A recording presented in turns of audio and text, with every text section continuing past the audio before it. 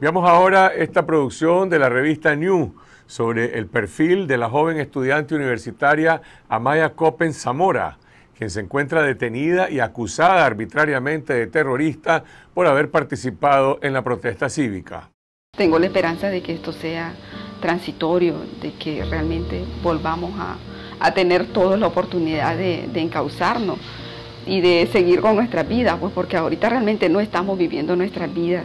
Mi hija no vive su vida como debería de vivir, ni, ni los otros presos políticos tampoco.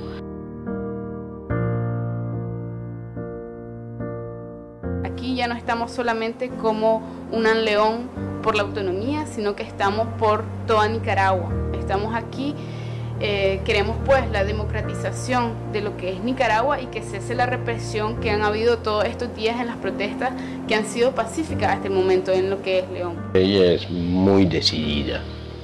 Cuando se propone algo lo lleva hasta el final. Ya no, no, no abandona la lucha cuando se propone algo.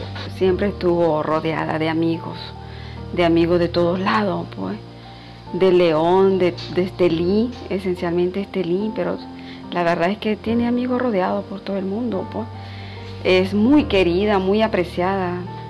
Es lo que me han dicho incluso la gente que, la conoce, eh, que tiene mucho carisma, es, muy solidaria, eh, tiene un sentido de, de, de justicia social eh, muy grande, creo que son parte de, su, de sus valores, pues, de sus cualidades. La habíamos logrado convencer de que hiciera los trámites necesarios para renovar su pasaporte belga y eventualmente salir del país pensando que hablando ella tres idiomas, eh, inglés, francés y español, eh, yo le decía, tal vez seas más útil eh, desde afuera haciendo un trabajo político, diplomático, en vez de estar cargando adoquines, pues, pero no, bueno, sin éxito. Eh, la verdad, la última vez que hablamos del tema incluso me colgó el teléfono diciendo que no, porque eh, ella decía, no, si, si yo me voy, los demás se van a desmoralizar, no, no, no, no quiero irme. Ahora, eso fue eh, la víspera de su, de su detención. Verla en esas condiciones fue, es desgarrador para una madre, sobre todo porque la Maya siempre ha tenido sus aspiraciones bien claras, pues, es decir, estudiante de medicina y con apasionada y con ganas de, avanzar y, y, ya en su último, no en su último año, pero en su quinto año, estaba eh, muy esperanzada a empezar a trabajar en las zonas rurales y tenía esa ilusión, pues. entonces verla en esas condiciones ha sido muy duro, como cualquier madre, todas las madres. Ahora veo ese sentimiento y me solidarizo profundamente con las mamás que vemos a nuestros hijos eh, truncados pues, en, sus, en sus metas. Es decir, la Maya siempre estuvo rodeada de gente de los barrios, es decir, de, todas las zonas. Em, y vivió siempre en colectividad, pues siempre fue muy independiente, eh, muy autónoma.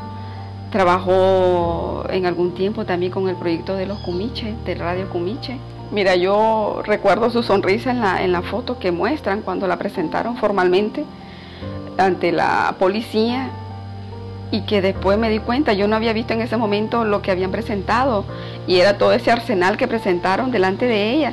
Es, decir, su sonrisa, pienso que era en función de eso, de decir, ¿qué están haciendo? Es decir, que, ¿por qué están inventando?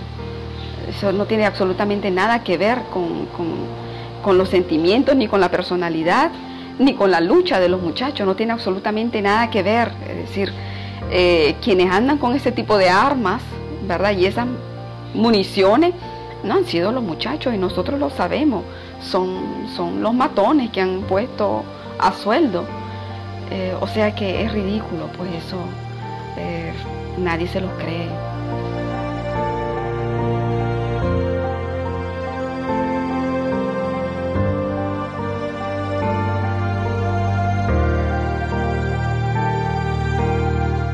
Esa es la demanda de justicia de la madre de Amaya Coppens, una de los más de 300 presos políticos cuyo único delito ha sido reclamar por la autonomía universitaria de la UNAM León y por los derechos de todos los nicaragüenses frente a una dictadura represiva que pretende dejar sus propios crímenes en la impunidad.